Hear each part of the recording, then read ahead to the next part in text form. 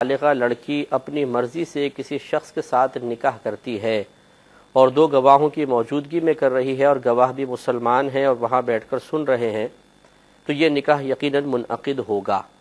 لیکن اس میں ایک مسئلہ یہ ہوتا ہے کہ وہ لڑکی کسی ایسے شخص سے نکاح نہیں کر سکتی ہے کہ جس شخص سے نکاح کرنا ان کے خاندان کے لیے باعث شرم و عار ہو۔ چنانچہ ایسے شخص سے نکاح وہ یقیناً کر سکتی ہے جو خاندان کے مقابلے کا ہو اور باعث شرم و عار نہ بنے، تو اس کو ہم پلہ ہم نظیر یا کفو کہتے ہیں۔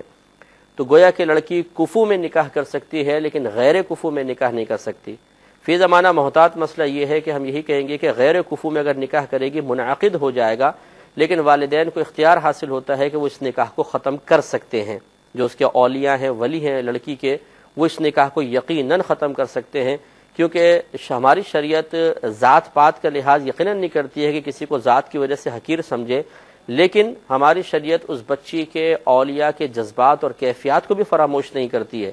تو کسی کی حقارت کی وجہ سے یہ غیر کفو کے نکاح کو منع نہیں کیا جائے گا، بلکہ اس وجہ سے کہ اس شخص کا قریب آنا ان کے پورے خاندان کے لیے باعث شرم و آر ہے۔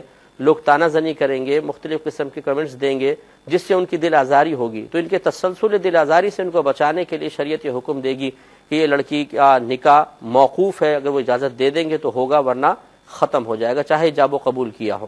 شریعت کہتی ہے کہ بھئی لڑکی نہ سمجھ ہے، باپ میں بیٹی کی وہ زیادہ ہوتی ہے، وہ بیٹی کا مستقبل جانتا ہے۔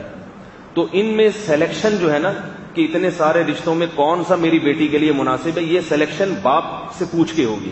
باپ کی مرضی کے بغیر شریعت میں پسند نہیں کیا گیا کہ بیٹی اپنی مرضی سے شادی کرے۔ باپ کا علم کامل، غیرت کامل، تجربہ کامل، پھر اس کی ایک، اس کے جذبات بھی ہوتے ہیں۔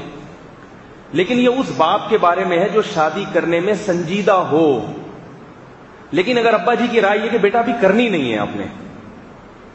خطرناک بات ہے، کان کھول کے سن لیں۔ بیٹا ابھی آپ نے کرنی نہیں ہے۔ رشتہ آیا ہوا ہے، لیکن میں یہ نہیں کہ رشتہ مجھے پسند نہیں ہے۔ میں نے ابھی کرنی نہیں ہے۔ ابھی آپ اسٹیبل ہو جاؤ، ابھی آپ پہلے اپنی میڈیکل کی تعلیم مکمل کر لو، یا ابھی یہ کر لو، یا ابھی وہ کر لو۔ پھر نہیں ہے وہ۔ پھر شریعت نے اس کو اجازت دی ہے کہ باپ راضی نہیں تو بھائی کو ملا لے ساتھ۔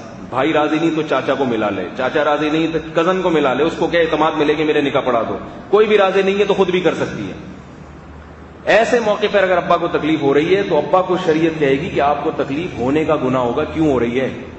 اللہ نے آپ کو ابا بنایا تھا اس کا نکاح کرنے کے لیے، اس کو نکاح سے روکنے کے لیے نہیں بنایا۔ ولی کے بغیر نکاح ہو سکتا۔ دیکھیے، بات یہ کہ نکاح تو نام ہے لڑکے اور لڑکی کے ایجاب و قبول کا۔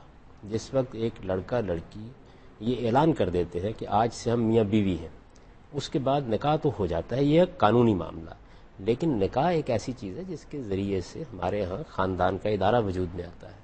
اس وجہ سے ہماری روایت یہ ہے اور رسالت معاب صلی اللہ علیہ وسلم نے بھی اس کی تلقین کی ہے کہ اس میں والدین شریک ہوں، اس میں اعزہ شریک ہوں، اس میں اقربا شریک ہوں، اس کو ایک باقاعدہ اچھی تقریب کی صورت دی جائے، یہ ایک خوشگوار موقع ہوتا ہے جس میں آپ ایک دوسرے کے ساتھ ملتے ہیں اور پھر اس طرح سب مل کر اس رشتے کو قائم کریں تاکہ اس کی پشت پر بڑوں کی دعائیں بھی آئیں اور ان کی سرپرستی اور ان کی شفقت بھی آپ کو حاصل ہو۔ تو یہ جو فرمایا رسالت میں آپ صلی اللہ علیہ وسلم نے لا نکاح اللہ بے ولی تو اس کا مطلب یہ ہے کہ ولی کے بغیر نکاح نہیں ہونا چاہیے۔ یہ پسندیدہ چیز نہیں ہے، یہ مناسب چیز نہیں ہے۔